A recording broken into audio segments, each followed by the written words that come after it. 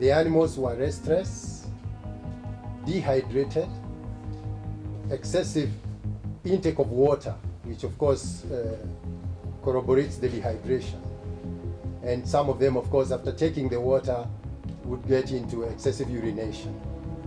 Lack of appetite, weakness, loss of body condition,